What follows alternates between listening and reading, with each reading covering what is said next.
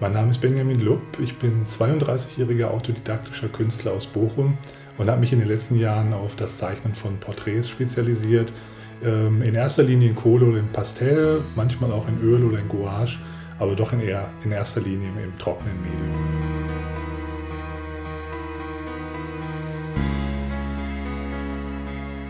Ich habe im Grunde schon mein ganzes Leben lang immer gezeichnet, von, von der Grundschule an, vom Kindergarten an immer unheimlich viele Stifte gehabt und immer alles ausprobiert.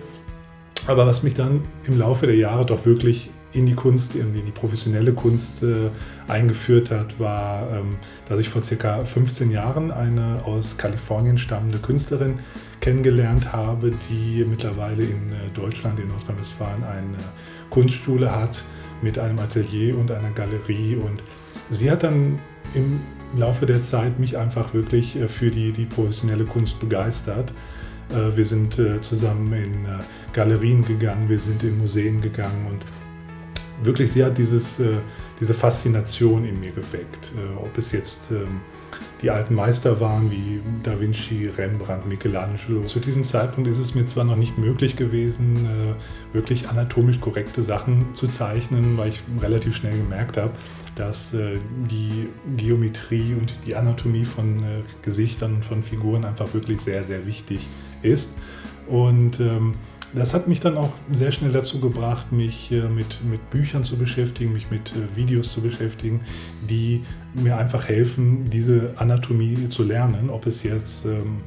Bücher waren von Bern Hogarth, von Andrew Loomis, die wirklich in den 50er und 60er Jahren teilweise richtige Grundwerke der, der Anatomie geschaffen haben. Und äh, darüber habe ich dann relativ schnell gelernt, ähm, wie ein Gesicht aufgebaut ist, wie ein Körper aufgebaut ist. Und äh, habe dann da immer daran weitergearbeitet, um einfach zu lernen,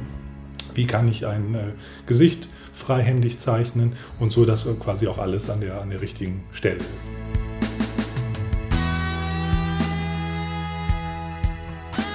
Einige Jahre später ähm, bin ich dann dadurch auf äh,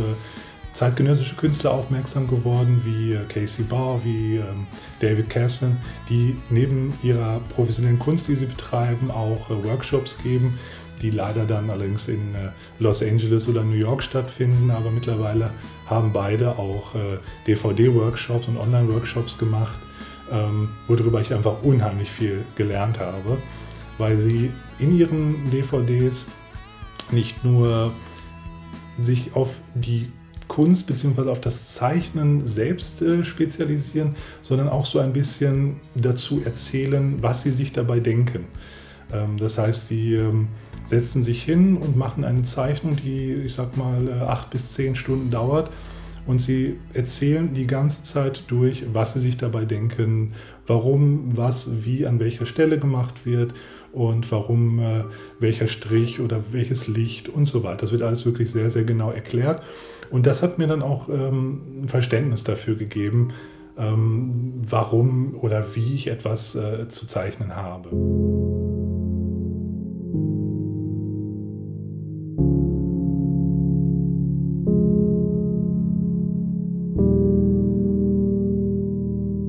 Das ähm, hat dann im Laufe der Zeit oder im Laufe der Jahre auch dazu geführt, dass sich so eine Art äh, Philosophie aus dem Ganzen entwickelt hat. Ähm, es ist eine Philosophie, die ich vielleicht in gewisser Form von anderen Künstlern adaptiert habe, aber auch in gewisser Weise einfach für mich selbst entdeckt und äh, für mich selbst entwickelt habe. Ähm, es bedeutet im Grunde, dass ähm, ich mich nicht hinsetze und eine Zeichnung mache und damit einfach nur ähm, jemanden abbilde und äh,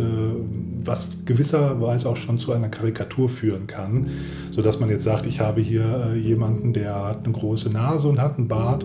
und ich mache jetzt eine Zeichnung davon und dann hat er eben auch eine große Nase und einen Bart und das ist es, sondern es ist, es ist eigentlich viel tiefer gehend. Ähm, ich möchte ja den Menschen nicht einfach nur abbilden, sondern in gewisser Weise auch ein, ein Gefühl rüberbringen. Ähm, wobei ich einfach den Charakter dieser Person äh, rüberbringen möchte. Ähm, das passiert eigentlich relativ ähm, automatisch, ähm, wenn man sich einfach äh, mit einem Gesicht sehr lange beschäftigt und dadurch, dass so eine Zeichnung halt wirklich sechs, acht, zehn Stunden dauert, man einfach sehr, sehr viel Zeit mit diesem Menschen oder mit diesem Gesicht verbringt. Ähm, man fängt einfach an, ein bisschen an dem Leben des anderen Menschen teilzuhaben. Das heißt, wenn ich mich ähm, mit Details aus seinem Gesicht beschäftige, ob es jetzt irgendwelche Falten, Narben oder irgendwelche kleinen Details, Unebenheiten sind, ähm, die ich möglichst sehr detailgetreu versuche in meinen Bildern umzusetzen, dann lerne ich einfach unheimlich viel über diesen Menschen.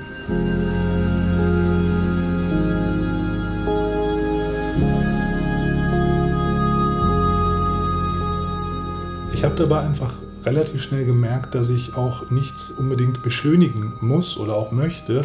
weil ich äh, diese Person einfach so darstellen und so abbilden möchte, wie sie einfach ist. Ähm, das heißt, ich würde mich jetzt nicht hinsetzen und äh, auch bei einem weiblichen Gesicht beispielsweise anfangen, irgendwelche Augenringe oder irgendwelche Unebenheiten wegzulassen, weil all diese Details und quasi diese Summe dieser Details einfach den Charakter des, des äh, anderen Menschen ausmacht. Und ähm, ich habe dadurch einfach so ein bisschen für mich auch äh, entdeckt, dass ähm, man, man kann es auch so betrachten, das ist quasi so ein bisschen die Poesie an dem Ganzen, dass ähm, selbst wenn es den anderen Menschen nicht mehr geben sollte, es wahrscheinlich mein Bild noch geben wird. Und ähm, wenn jetzt quasi, ich sage jetzt mal, die Nachwelt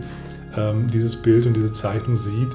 äh, dass sie einfach merken oder einfach sehen, diesen Menschen hat es gegeben und äh, dieser Mensch ist jemandem so wichtig gewesen, dass er wirklich viel Zeit und viele Stunden äh, sich damit beschäftigt hat, von dieser Person eine, eine Zeichnung zu machen.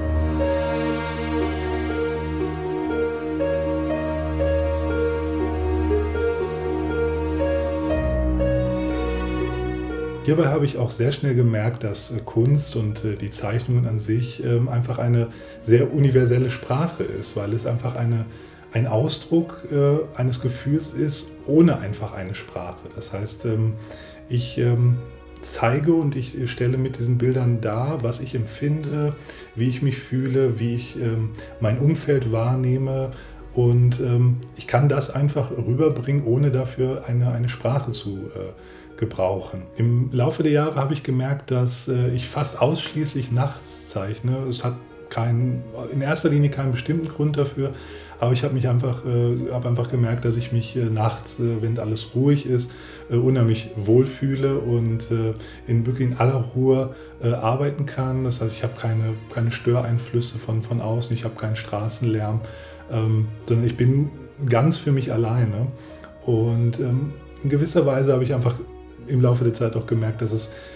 fast schon wie eine Art Meditation ist. Ähm, das Merkwürdige dabei ist wirklich, dass man, äh, wenn man sich zehn Stunden an so ein Bild setzt, man die Zeit auch wirklich vergisst.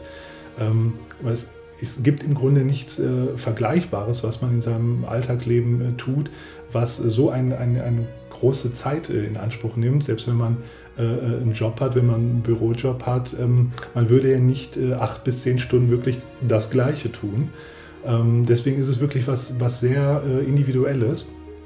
Und ich habe ähm, dabei auch so ein bisschen gemerkt, dass wenn so ein Bild entsteht, was ja wirklich ein, ein sehr langer Prozess ist, was aber auch ein sehr spannender Prozess ist, an dem man dann teilnimmt, äh, was einen selbst teilweise mal überrascht, ähm, dass es quasi so ein bisschen eine Analogie hat zu der Zeit, die man äh, verbringt. Das bedeutet, ähm, ich fange halt in, wirklich in absoluter Dunkelheit nachts an, habe ein leeres Blatt und fange an, äh, grob irgendwelche Schattenflächen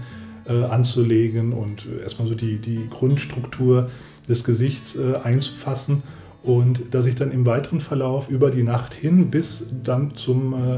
Sonnenaufgang bis im Morgengrauen, wo das Bild dann fertig ist. Dass, dass es wirklich wie so eine Art äh, Geburt äh, des, des Bildes ist. Und ähm, das äh, ist wirklich dann die Analogie zu dem, zu dem Zeichenprozess selbst, ähm, weil ich im Laufe, des, äh, im Laufe der Entstehung des Bildes einfach mit äh, verschiedenen Materialien, sei es jetzt halt Pastell, Kohle oder äh, auch Graphit, ähm, einfach über das ähm, Übereinanderlegen von, von Schraffuren aus diesem Nebel, äh, den ich eigentlich zunächst mit Kohle, mit Kohlepulver oder auch mit Pastellpulver äh, erzeugt habe, dieses Gesicht herausarbeite.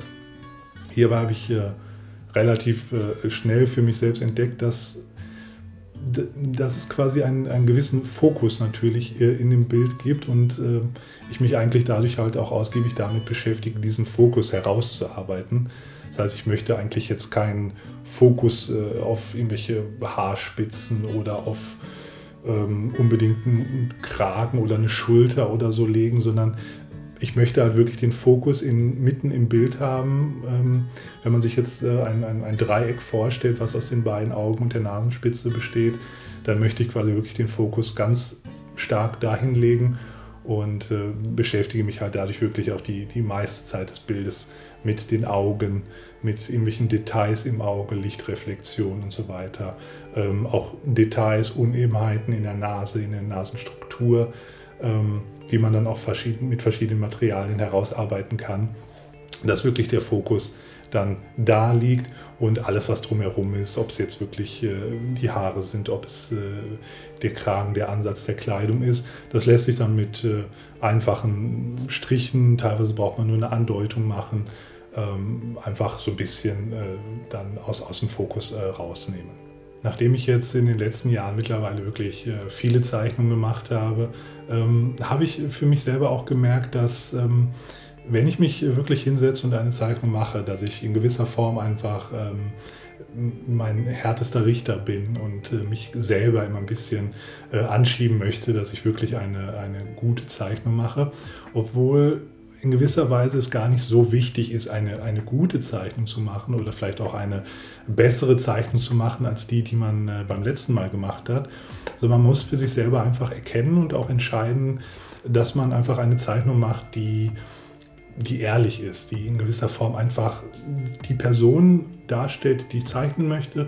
die genau das rüberbringt, was ich rüberbringen möchte sei es jetzt mein Gefühl oder möchte ich einen, einen bestimmten Ausdruck äh, erzeugen. Und dann ist es gar nicht so wichtig, ob die Zeichnung jetzt für sich alleine stehend gut ist oder sehr gut ist. Das ist dabei äh, wirklich relativ unwichtig. Ähm, in gewisser Form habe ich dadurch auch erkannt, dass äh, wenn man äh, eine Zeichnung macht, dass es auch gar nicht um, um, um Sachen wie äh, richtig oder falsch geht oder ob es jetzt gut oder schlecht ist, sondern es ist wirklich einfach eine gewisse Form von Ehrlichkeit. Denn ich sage mal, am Ende des Tages geht es einfach darum, dass man ähm, ein, ein gewisses Stück Kunst auf diesem Planeten hinterlässt.